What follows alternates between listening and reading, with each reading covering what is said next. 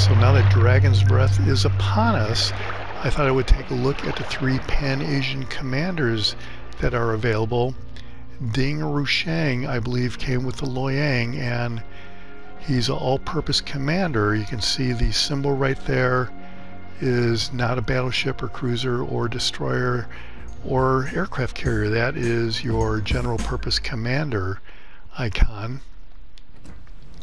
His base trait is Gunslinger, reduces the reload time of your main battery. So this guy will pretty much do everything. So I'm setting him up for the Pan-Asian destroyers here. And uh, so I've selected Erich Bey as his inspiration. I only have him ranked up to rank 7 because I plan on investing in the Pan-Asian torpedo destroyer commander, whichever one that turns out to be. So I, I just want to get uh, Ding Rusheng uh, enough of a rank so that he can have at least one inspiration for Bey for Shifty to um, increase the concealment.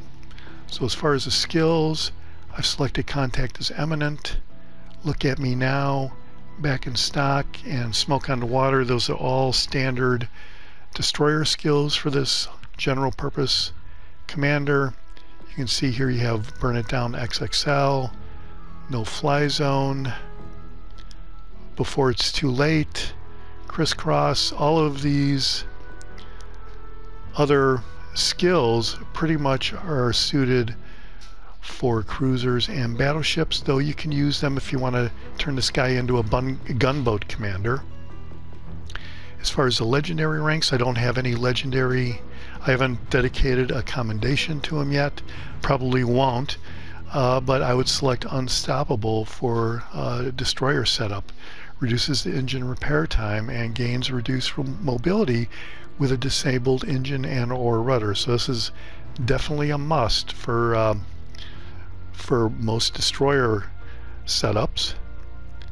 Will to Rebuild is perfect for battleship setup and fully packed will give you extra consumable and I use this on cruisers a lot of times. So okay, so that's Ding Rusheng. He's the general purpose guy. So let's take a look at the other new commanders. So Deng Shisheng his base trait is Quantum of Solace.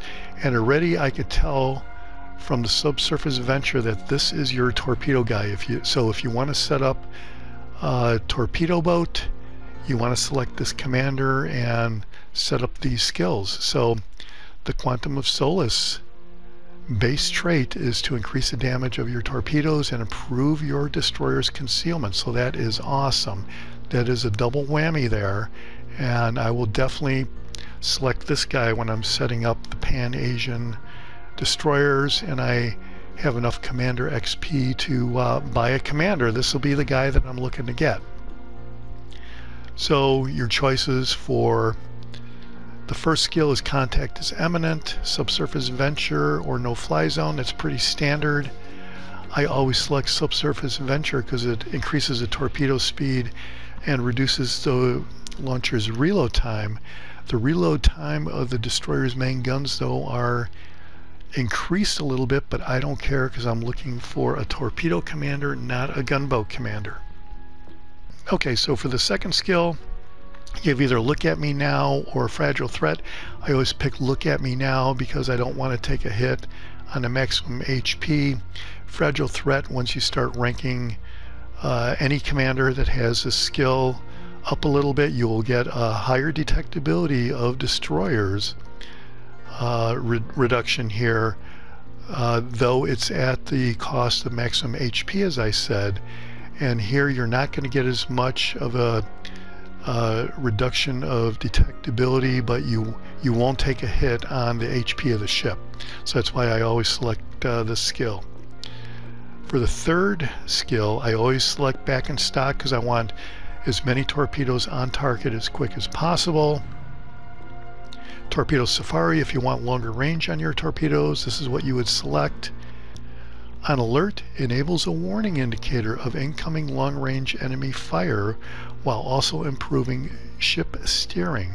So rudder shift time is going to be decreased here probably 6% by the time you rank this guy up. And then we have Perceptive here. It's a skill that is now available for all commanders. It increases the visibility of enemy torpedoes and reduces the incoming damage to your destroyer. And it will show the direction of the closest enemy ship. But I, I rarely select this. I, I, have this selected for a few instances, but when I'm going for a torpedo setup, I'll generally select back in stock. And then here we have either smoke on the water for the force skill, destroy or be destroyed, increase the maximum speed of your destroyer at the cost of reduced shell grouping of the main battery. And I don't think I would ever pick that, but uh, let's check out Knuckle Duster here. This is kind of new.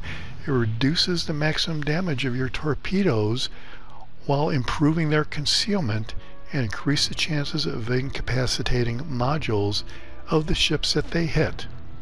So okay, detection of your torpedoes is minus 25 meters. Chance of your torpedo incapacitating an enemy ship goes up a little bit and the torpedo damage goes down 10%. Alright, I would probably still um, select smoke on the water because I find the smoke screens pretty useful. And here for the legendary skill you have either unstoppable or give me speed. I always select unstoppable. Alright, so the last guy is uh, Jinbing. His base trait is Tin Can Opener, increases the minimum ricochet angle of your destroyer's AP shells. Okay, uh, gunboat commander setup again. Contact is imminent. Increases the travel speed of your torpedoes. Okay. Observant range reduces the main battery reload time of your destroyer while improving the torpedo detection at the cost of a lower rudder shift speed. So this is, I guess, more for a gunboat commander. No fly zone, pre-standard mortar. Enhance your destroyer shells at the cost of increased ship detectability. So this is definitely a gunboat commander skill if you want to go that direction. You have look at me now, so you can still do kind of a, a similar torpedo setup if you want. You know, it's got back in stock, look at me now. Contact is imminent. That this is not as great as subsurface venture, but it's okay. So yeah, I think this guy is the guy that you want to select if you're setting up for a gunboat. You have twist and track for the third skill reaching out XXL, and then you have perceptive again. For the fourth skill, you have smoke on the water, cloudy days, reduces the engine boost consumable reload time at the cost of this diminished smoke generator capabilities. Alright, I, I, don't think I'd ever select that, but uh, Knuckle Duster is the other unique skill here as we talked about before. Reduces the engine damage of your torpedoes, improves their concealment, and increases the chances of incapacitating modules. So uh, here you have Unstoppable, which I think you want for any destroyer setup.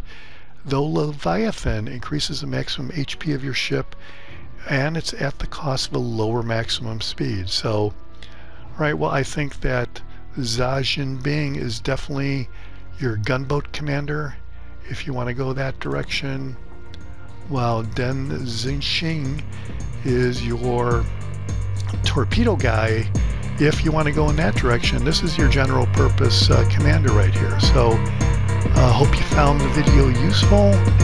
Hope to see you out there. This is the Jaguar. I'll see you on the high seas. Thanks for watching and subscribe if you like it.